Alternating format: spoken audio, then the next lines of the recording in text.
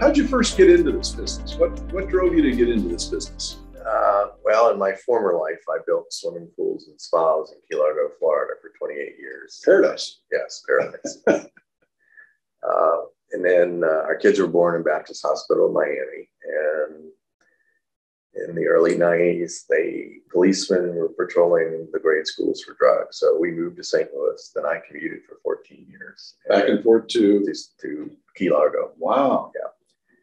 And then 02, I sold my business and was looking for opportunities up here. And I came across a cabinet company out in St. Clair, Missouri, and family owned little mom and pop business. And was going to buy that. I interviewed all their employees and we were ready to sign on the dotted line. And they had about $200,000 $200, worth of business that was going through some stage of production. And so I asked them, I said, you know, let me know how much you got in there for materials, labor, and your profit. We'll work out a system to, you know, divvy up what's in, in the number. Well, they came back a day later and said, we can't do that. And I said, why?